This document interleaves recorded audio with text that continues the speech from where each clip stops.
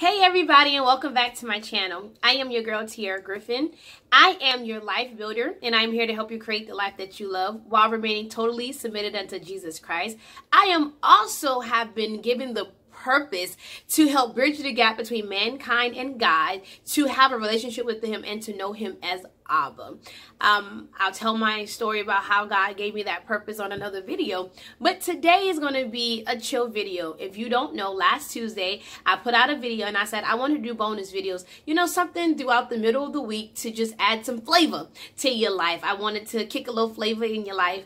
Um, so that is what these videos are going to be for. I'm going to try to do them on Friday or Saturday, but do not hold me to that. Just know they're going to be a midweek video. Uh, it's just something fun, light, you know, nothing too heavy in like my teachings, but just fun things that I learned, maybe tips that I have learned, um, you know, how I dress, my fashion, and different things like that. So just stay tuned. Thank you for those that have subscribed. And if you have not done so yet, please subscribe to this channel and join the family. Like, we are a dope fam. Okay, we dope over here. So, yes, sit back, relax, and let's get into the video for today. So today I will be sharing with you four books that I read that totally revolutionized my life and my walk with Christ. There was a if you're in a place of your life where you can't travel the way that you want to, getting lost in a good book is what you may need. I love books and I haven't read like I, you know, am supposed to or how I used to read, but I want to get back into that. And I want to encourage you to at least read one book a month for the entire year and watch how your vocabulary expands. Watch how your desire for reading will expand. I know some people don't like to read, but there's so much in book. There's so much information in books that we do not have access to because we do not read. I've read books on how to develop my business, how to grow my walk with God, how to grow my prayer life, how to grow more in God, um, my real estate business. I have so many books. How to grow my relationship with the Holy Spirit and how to grow my business. I have so many books. See, the thing about it is we go to school. Like if you want to be a doctor, you would go to school, you would get all their books in order to be greater in that profession, how to pass your courses and how to take the test and learning all that that that industry needs. So when it comes to your own life, when it comes to your personal relationship with God, why don't we read for that? Why don't we have the books in order to grow our knowledge and our understanding of that as if that's less important? We just need to, in everything that we do, try to learn more. Learning more in just learning, learning more, learning more. And you learn more by reading, essentially. So today we're just talking about reading. So here are four books that I read that, like I said, revolutionized my entire life. The first one is the Benny Hinn Good morning, Holy Spirit. This revolutionized my relationship with the Holy Spirit because a lot of times we think that he's a ghost or he isn't real or he's not a person, but he is the third the third person in the triune being. And this book really helped me to grow my relationship with him. He was talking about, you know, Benny Hinn is from another nationality. Excuse me, and he they served another God and how he would spend so much time with the Holy Spirit that he would get in the car with his friends and they just would sense the presence of God on his life. And he would be in his bedroom for hours, hours, and hours on end and he would spend time with the Holy Spirit and the Holy Spirit would begin to fill his entire house. And to this day his entire household is saved and they all live for Christ. And that is amazing. Maybe you may be the only one in your family that has a relationship with Christ and it just seems like everybody else is going to hell in a handbasket. Let's just be honest. God has has positioned you to be the Christ in their life to be the one that's going to help bring them to Christ show them the love of Christ. So you have a great responsibility which is awesome and he tells about how he just spent time with how he spent time with God and the Holy Spirit will help you to bring your families to Christ. He will teach you how to pray to bring your family to Christ, how to love on them because you know the fruits of the spirit help us to know that we have the Holy Spirit. They're evidence of the Holy Spirit. So love, joy, peace, self-control, gentleness, meekness, and those in your life is as a result of the Holy Spirit. So he helps you in all things. He brings all things back to your remembrance. Like this book is just amazing when it comes to just knowing him and loving him and spending time with him. And every morning I get up, I say, Good morning, Holy Spirit. So this book is completely awesome. The next book I have for you is Battle Plan of Prayer. This is from the War Room. As you can see, I have all of my sticky notes in here because this book was just jam packed with all kinds of things. As you know, we sometimes pray amiss. We pray and we pray and we pray with our, our hearts are definitely right, but we're not praying the will of God. The first John 5 and 14 says that when you pray my will, know that I hear you. And if you know that I hear you, I will give you what you ask. I will grant that request. But we pray amiss. When they go, when people go to target practice or when they're trying to hit a bullseye, they know exactly what they're trying to hit. This book right here, praying according to the Holy Spirit, and as He would have you to pray, will help you to not pray amiss, will help you not to miss the mark you cannot pray outside of the will of God. If you pray outside of the will of God, the will of God is the the will of God is his language. That's like you going to um France and you trying to speak English and they're looking at you like it sounds like womp, womp, womp. That's sometimes how we sound to God when we do not pray His will. Yes, you have the right intentions, and yes, your heart is in the right place, but pray strategically, pray in purpose, pray intentionally so that you can get the prayers of your heart answered. And when God starts answering your prayers, then you start to pray more. Not saying you pray to get your get what you want. No, absolutely not. But hey, it's one of those things. Praying will you will get, start getting answers to your prayers and it will make you want to pray more and make you want to be in the face of God even more. This totally changed the game in my prayer life. Totally, totally changed the game in my prayer life. The next book that I have is Battlefield of the Mind by Joyce Meyers. Listen, when I came back to God, I was in a complete state of confusion. I felt like sometimes I did not know my name. I thought I was losing my mind and I thought I got amnesia at a young age listen. I was confused about everything. I could not keep my mind on a particular thought. I was all over the place, all over the place.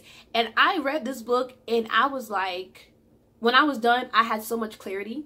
I had so much clarity. Like, it felt like everything that was on my mind had been broken off. The truth will set you free indeed. And I was just in a place of confusion, worry, doubt, uh, feelings of condemnation I would go to pray to God and I just felt unworthy. I just felt crazy. Like the enemy will plant so many thoughts in your head. You have to get to the place where you uh, pull down every stronghold, any high and lofty thing that exalts itself against the knowledge of God. You got to know how to win the battle. You had to know how to win the battle in your mind. If you were like me and you were confused about everything and it felt like you were losing your mind, or you may feel like you're losing your mind right now, this book has the plan to beat the enemy at his own game. Beat him at the territory. Beat him at the place where he's trying to take the territory of your mind. The mind is a terrible thing to waste, and we will lose it if we don't know how to win it. If we don't know how to go on the enemy's territory and take our land back and take your mind back. Listen, this book was awesome. And as soon as I finished reading this book, I was like, wow. My mind is free. I can think clearly. I can complete my train of thoughts. I'm not losing thoughts in the middle of me speaking. I have so much clarity and I won the battle over my mind and I have authority back over my mind. Amazing. Oh my God. Amazing book. This book, last but not least, I read this a long time ago, which I probably need to read it again. But this book is called Lady in Waiting, Becoming God's Best While Waiting for Mr. Right. And this is not talking about waiting uh, passively when you're just like, mm, mm, mm, I'm waiting for my man. No, this book is like, I'm going to become the one so that I can attract the one and how to become the God ordained woman that God has called you to be. This book, oh my God, it was awesome. I know I didn't do this for the other ones, but I would do this for this one. The first chapter in this book is called Lady of Reckless Abandonment. And this book has devotionals, it has prayers, it has places that you can write, different things like that. But the preface for this book says, Is this just another book for singles? No. We believe this book is unique because its emphasis is not on a woman's status, single, married, divorced, or widowed, but on the state of her heart. We want to direct a woman's attention toward the one who really understands the longing of her heart. Too many women grow up believing that the inconsolable ache in her heart is for a man. To love a man, get married, and then have children is a thought to be the only script that will satisfy her heart's deepest longings. But no man, woman, or child can appease this longing. It can only be satisfied by the ultimate bridegroom of Christ Jesus. This book was awesome. It helped me to learn how to wait.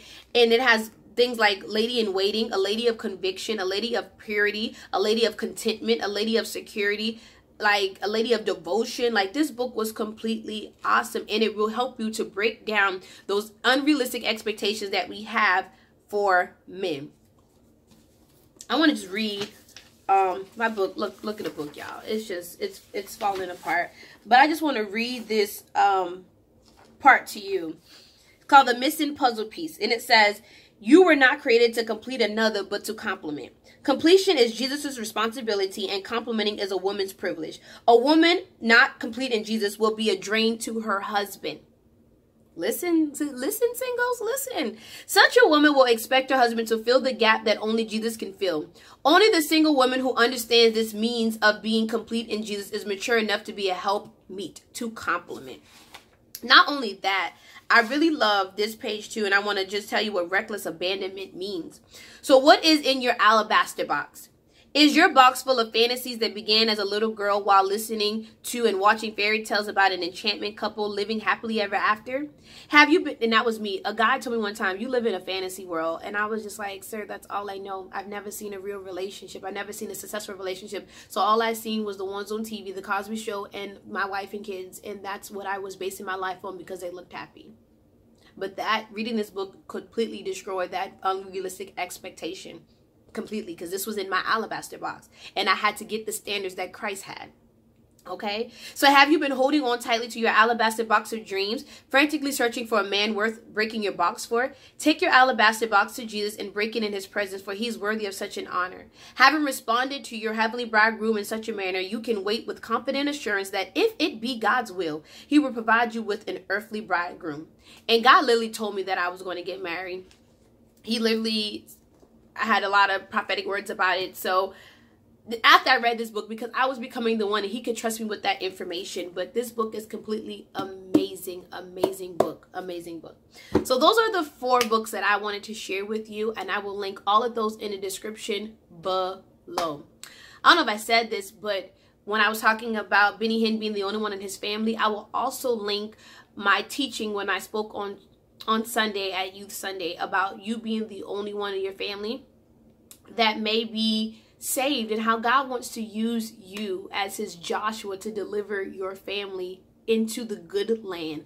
So just be remain vigilant, continue to seek God, continue to love God and continue to follow my channel because I will have a lot of things that God has put on my heart that I want to share with you.